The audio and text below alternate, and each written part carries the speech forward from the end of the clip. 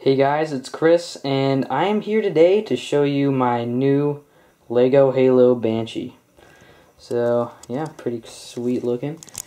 Um, so, lately I actually been putting pictures on Flickr and YouTube and making videos of this and putting it on YouTube. Uh, kind of mentioning it, but not exactly showing you the full detail and stuff in this.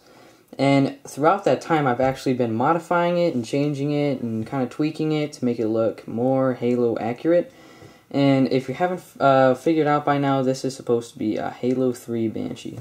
So, um, I will be showing you some details on this. So, as you can see, I changed it, like the Banshee cockpit, so it would be kind of like more pointing upwards. So, like during flight, it looks like this. It's kind of more like the Halo 3 Banshee because if you look at pictures of it, it's just like that.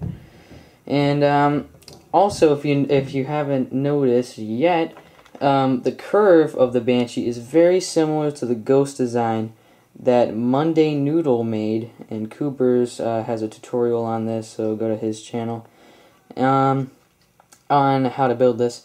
Um, but I also included this really cool curvature with these cool slope pieces in it because I just felt that it would be really good to uh, put that in this. Um, so in the front we have uh, two plasma guns and this bottom light thing.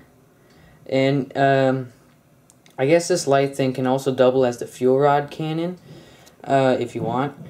Um, and we got some really nice wings right here. They're very sturdy. You can set them down. They're not going to break on you. Um, and the translucent plasma booster things.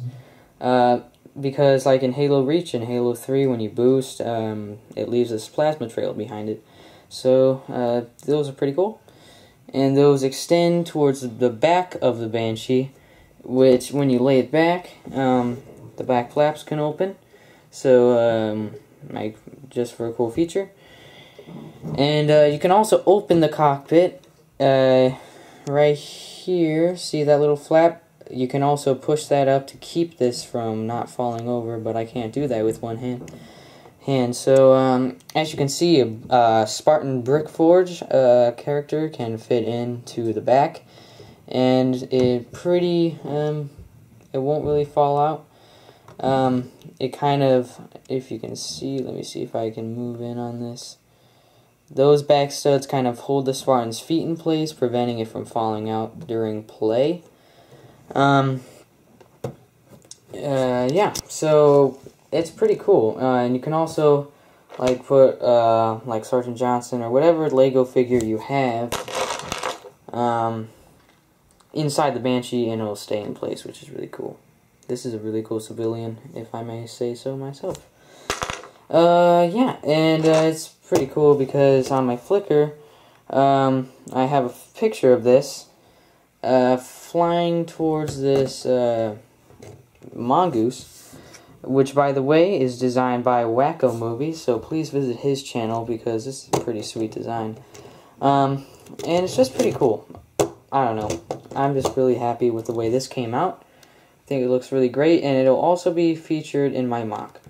So I better wrap this up since I'm running out of uh, battery. So please rate, comment, and subscribe this video. Rate, uh, comment down here, subscribe up here. Tell me what you think, and I'll see you guys later. Bye.